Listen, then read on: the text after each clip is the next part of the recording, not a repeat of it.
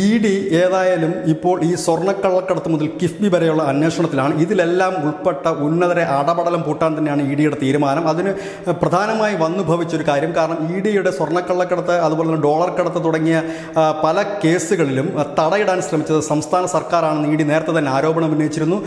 പിന്നീട് ക്രൈംബ്രാഞ്ച് രണ്ട് F I R E ഡിക്കെതിരെ ഇട്ടിരുന്നു. ഇത് തങ്ങളുടെ ഈ അന്വേഷണത്തിനെ അട്ടിമറിക്കാനാണെന്ന് ഇ ഡി സംശയിച്ചിരുന്നു. ആ സംശയം ശരിവെക്കുന്ന തരത്തിലേക്കാണ് കാര്യങ്ങൾ പോയത്.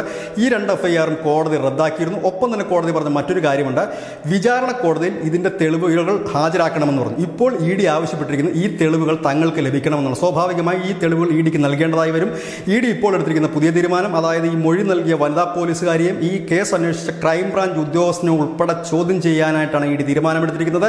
അതായത് ഇ ഡിയുടെ അന്വേഷണം സംസ്ഥാന പോലീസിലേക്കും വ്യാപിക്കുന്നു.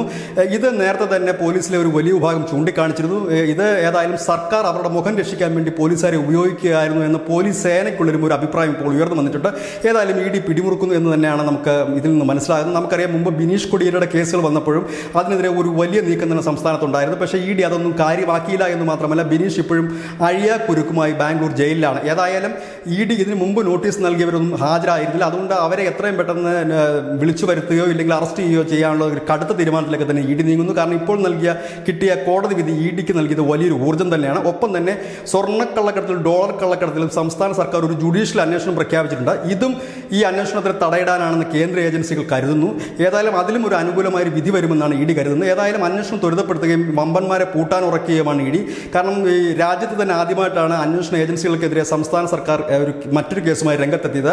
ഇത് ഇ ഡിയെ ചൊടിപ്പിച്ചിട്ടുണ്ടെന്ന് തന്നെയാണ് നിർമ്മലാ സീതാരാമന്റെ വാക്കുകളിൽ നിന്ന് തന്നെ പുറത്തു വരുന്നത്. നിർമ്മലാ സീതാരാമൻ പറഞ്ഞത് ഭദ്രകാളിയെ പിടിക്കാൻ പിശാശ് വളർന്നിട്ടില്ലെന്നും പിശാശിനെ ഭദ്രകാളി പിടിക്കുമെന്നാണ്.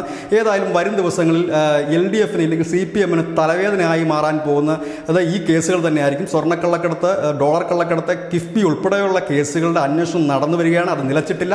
അത് കൂടുതൽ ഊർജിതമാക്കാനുള്ള ശ്രമത്തിൽ തന്നെയാണ് ഇടി വരും ദിവസങ്ങളിൽ കുരുക്കുമുറുക്കും ഉന്നതരെ കൂടുതൽ ചോദ്യം ചെയ്യപ്പെടും. ഏതായാലും ഈ അവരുടെ ഈ കേസിനെ തുരങ്കം വെച്ചതില്ലെങ്കിലും അത് അതിനെ തടയിടാൻ ശ്രമിച്ച ഒരു ഗൂഢാലോചന നടന്നു എന്നുള്ള ഇ ഡിയുടെ വാദത്തിന് ബലം പകരുന്നതാണ് ഇപ്പോൾ ഹൈക്കോടതിയിൽ നിന്ന് വന്നിരിക്കുന്ന വിധിയും. ന്യൂസ് ഡെസ്ക് ന്യൂസിന്റെ മലയാളം.